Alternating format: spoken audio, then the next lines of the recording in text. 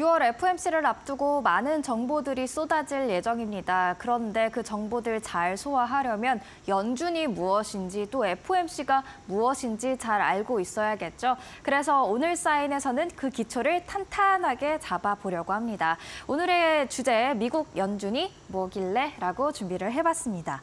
일단 연준은 연방준비제도의 준말이라고 할 수가 있는데요. 연방준비제도란 1913년 연방준비법에 따라 설립된 도입된 미국의 중앙은행 제도다라고 생각을 하시면 되겠습니다. 역할로는 여러 가지가 있는데요. 그중에서 네 가지만 꼽아보자면 통화 금융 정책을 결정합니다. 가장 중요한 역할 중 하나가 되겠고요. 지역 연방준비은행 지역에도 지역별로 준비 은행이 있는데 그 은행들을 관리하는 역할을 하고 또 금융 시스템 안정을 유지하는 역할, 미 정부와 금융기관 등의 금융 서비스를 제공하는 역할까지 수행을 합니다.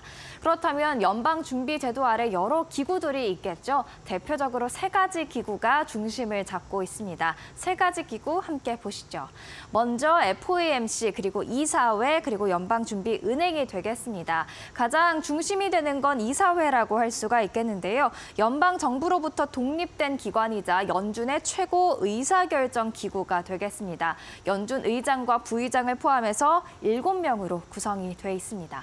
그리고 12개의 연방준비은행이 있습니다. 연방준비제도의 실질적인 팔이라고 할 수가 있겠습니다. 실행기구로 미국 12개구에 하나씩 설립이 돼 있습니다. 총 12개의 지역은행이 있다라고 생각을 하시면 되겠고요.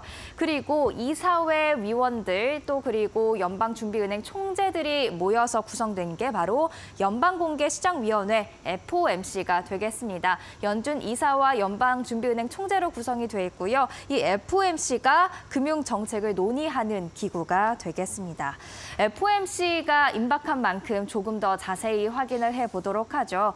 매년 8번 정례회의를 개최합니다. 올해 6월을 지나고 나면 7월, 9월, 11월, 12월 이렇게 네 차례 차례의 FOMC가 더 준비가 돼 있습니다.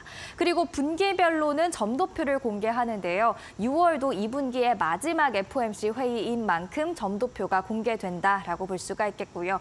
9월과 12월에도 점도표와 경제 전망 보고서가 함께 공개될 전망입니다. 그리고 FOMC 위원은 총 12명으로 구성이 돼 있습니다. 7명의 연준 이사는 모두 포함이 되고요. 그리고 지역 연은 총재 중에서는 뉴욕 연은 총재 문제 임시직이 아니라 계속해서 고정적으로 포함이 돼 있습니다.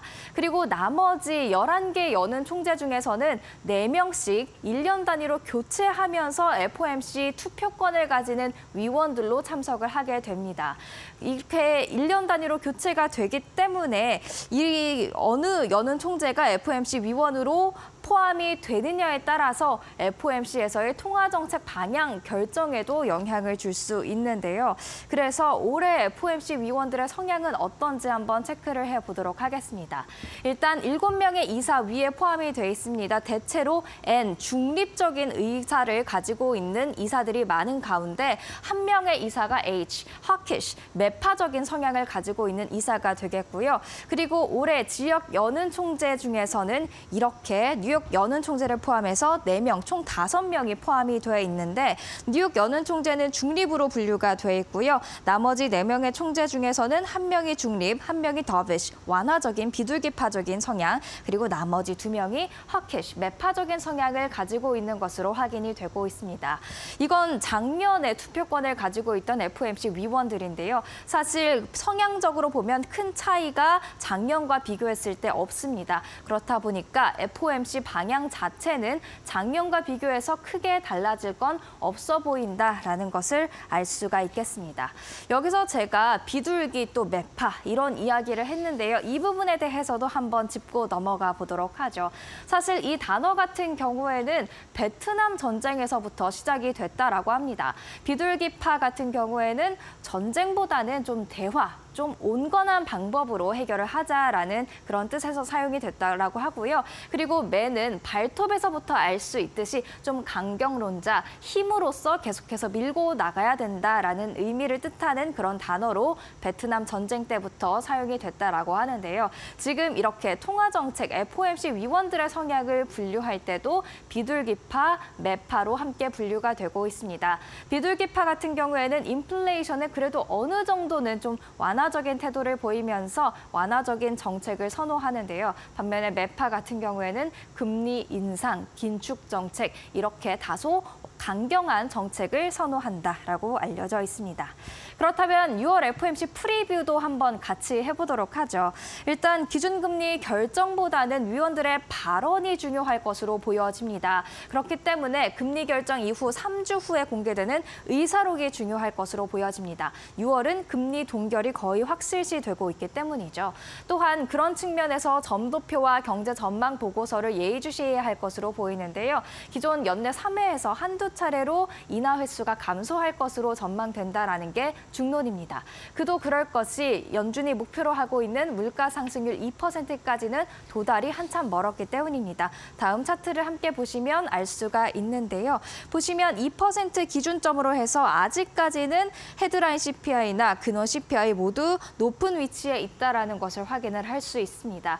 지난번 사인 때 한번 보여드렸는데 이 블룸버그 설문조사 결과 많은 경제학자들은 3개월 정도의 인플레이션이 둔화하고 있다라는 긍정적인 데이터가 나와야만 연준이 움직일 수 있을 것 같다라는 결과를 발표를 했었죠. 그런 움직임이 나타날지 5월 CPI도 한번 같이 확인해 보셔야겠습니다. 계속해서 6월 프리뷰 이어가 보자면요. 금리 인하의 이유에 대해서도 더 주목해야 할 것으로 보이는데요. 사실 인하한다고 무조건 시장이 반기진 않을 겁니다. 경제 악화로 인한 인하라면 시장은 달가워하지 않을 것으로 보입니다. 최근 연은 총재들의 발언도 한번 체크를 해보도록 하죠. 위에 있는 두 연준 총, 연은 총재들이 올해 투표권을 가지고 있는 총재들이 되겠는데요. 지금 보이는 경제 지표들 여전히 적절하다고 생각하지 않는다라는 코멘트 있고요. 고금리의 충격이 아직 다 온 것은 아니다라고 말하는 총재도 있었습니다. 한편 시장 같은 경우에는 기준금리 경로 첫 인하를 지금 9월 또는 11월 정도로 생각을 하고 있습니다. 페드워치를 통해서도 확인을 할 수가 있는데요. 사실 9월, 11월에서 계속해서 시장의 전망이 갈리고 있습니다. 이것은 CPI 물가 지표에 따라서 계속해서 바뀔 수 있는 만큼 참고를 하시면 좋을 것 같습니다. 미국의 기준금리는 팬데믹 때 정말 가파르게 올랐습니다. 그 속도 한번 보시면 정말 수직 상승이었다라는 것을 알 수가 있는데요. 과연 이번 6월 FOMC 이번에는 그 기준금리를 동결하더라도 점도표를 통해서 인하를 예상을 할지 체크를 해보셔야겠습니다. 지금까지 사인이었습니다.